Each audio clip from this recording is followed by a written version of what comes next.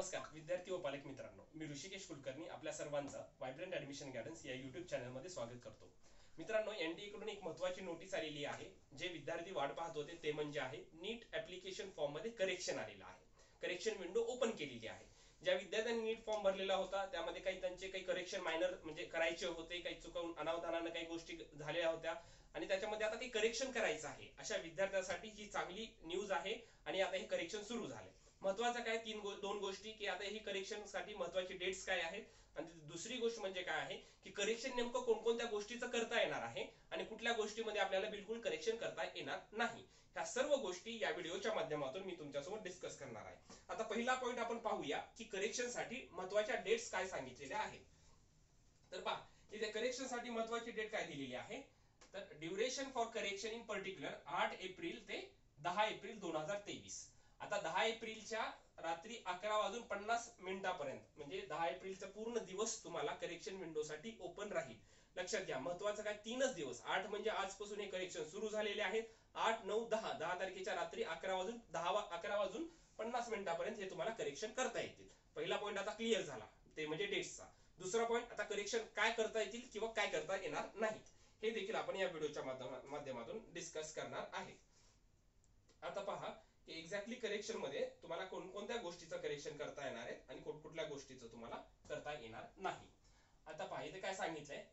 Mobile number email I D आणि permanent address and present म्हणजे address थोडक्यामध्ये. Mobile number email I D आणि address यामध्ये correction no म्हणून सांगितलं याच्यामध्ये तुम्हाला बिलकुल करेक्शन करता येणार नाही. हे विद्यार्थ्यांनी लक्षात घ्या.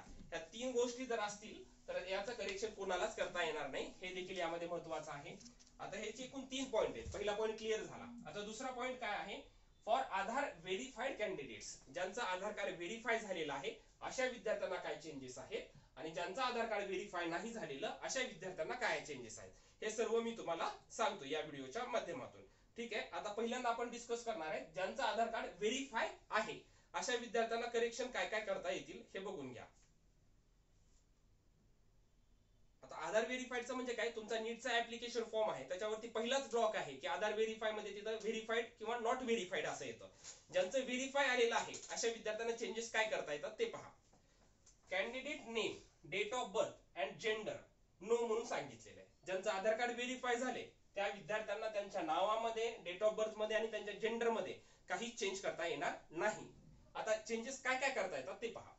Father's name and mother's name याच्यामध्ये जर काही तुमचं चेंज असेल की एखादं स्पेलिंग मिस्टेक काही झालं असेल तर ते तुम्हाला त्याच्यामध्ये चेंज नक्कीच करता येणार आहे. परंतु काय? आयदर मदर्स नेम और फादर्स नेम दोन्हीपैकी एका गोष्टीमध्ये. तुमचं जे करेक्शन आहे ते तेवढं एक तुम्ही करू शकता.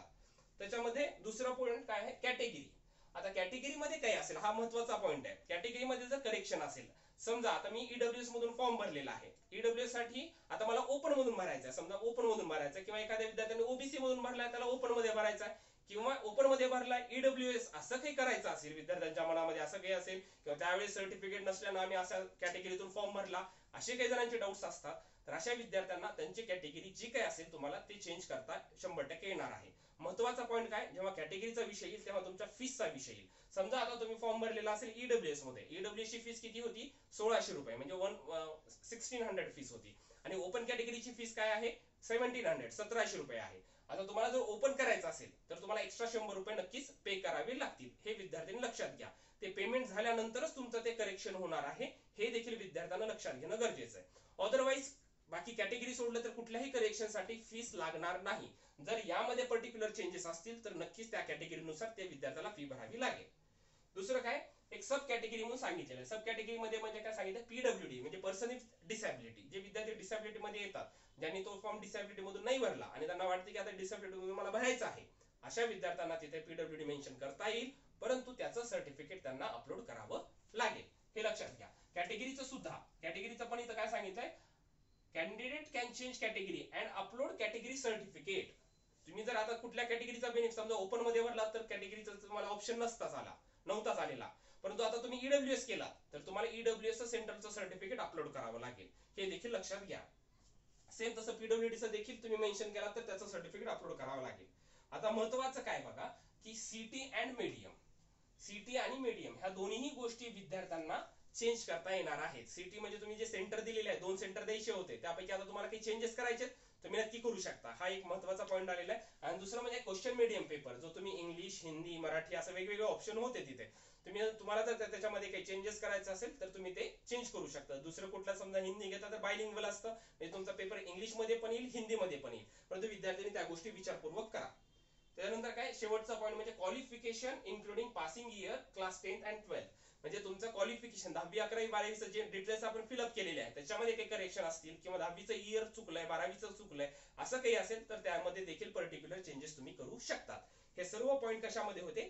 ज्यांनी आधार कार्ड व्हेरीफाय ज्यांचं झालेलं आहे अशा विद्यार्थ्यांसाठी. फक्त याच्यामध्ये काय करता येत नव्हतं ज्यांचं व्हेरीफाय झाले अशा विद्यार्थ्यांना फक्त त्यांचं विद्यार्थ्याचं नाव डेट ऑफ बर्थ आणि जेंडर ह्या तीन गोष्टी चेंज करता येत नव्हत्या ज्यांचं व्हेरीफाय झालेलं आहे. आता पुढचा पॉईंट बघा काय आहे? की ज्यांचं शेवटचा पॉईंट आहे. ज्यांचं आधार कार्ड व्हेरीफाईड नाही झालं. म्हणजे तिथं आपण फॉर्म भरताना आपण सर्व डिटेल्स मेन्शन केले पण व्हेरीफाय नाही झालं. अशा विद्यार्थ्यांसाठी काय काय चेंजेस करता येतात ते पहा.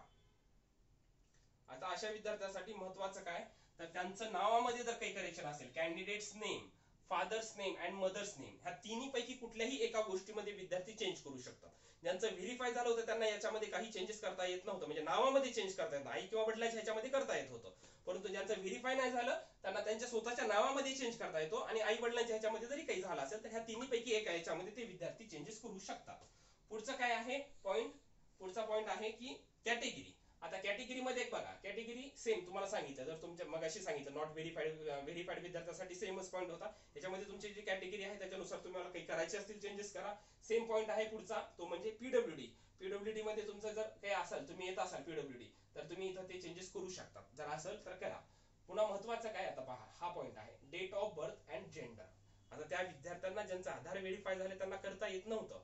परंतु ज्यांचं आधार कार्ड व्हेरीफाय नाही झालं आणि त्यांचं जर डेट ऑफ बर्थमध्ये काही चूक झालेली असेल तर तुम्ही ते चेक करा कारण की अशाच कारणामुळे व्हेरीफाय नसतं झालेलं. डेट ऑफ बर्थमध्ये तुम्ही करेक्शन करा. दुसरं काही जेंडर जेंडरमध्ये चुकून काही विद्यार्थ्यांना झालेलं असू शकतं. मेलचं फिमेल फिमेलचं मेल चुकून टाईप करताना म्हणजे फॉर्म भरताना झालेलं असेल तर अशा विद्यार्थ्यांनी हे करेक्शन करून घ्या. महत्वाचं हे आहे. बाकी सिटी अँड मीडियम हे तुम्हाला सांगितलंय आणि qualification including passing year class ten ten और टेन. म्हणजे हे क्वालिफिकेशनमध्ये देखील काही करेक्शन असतील तर तुम्ही हे करेक्शन करू शकता. महत्वाचं हे लक्षात घ्या टाइम कमी आहे. एकदा डबल एकदा पहा सर्व विद्यार्थ्यांनी. व्हायब्रंटमध्ये लातूर बीड बारामती पुणे नांदेड ऑल ओव्हर महाराष्ट्रामध्ये आम्ही फॉर्म भरलेले. ज्या विद्यार्थ्यांनी फॉर्म भरलेले अशा सर्व विद्यार्थ्यांना मी मेसेज केलेले आहेत. त्यांचे करेक्शन काही असतील अदरवाईज म्हणजे व्हायब्रंट सोडून बाकीच्या सर्व विद्यार्थ्यांना मी सांगू इच्छितो. करेक्शन काही असतील तीन दिवस दिलेले आहेत. काळजीपूर्वक फक्त पाच मिनिट लागतात. तुमचा ऍप्लिकेशन फॉर्म तुमच्या डोळ्यासमोर ठेवा.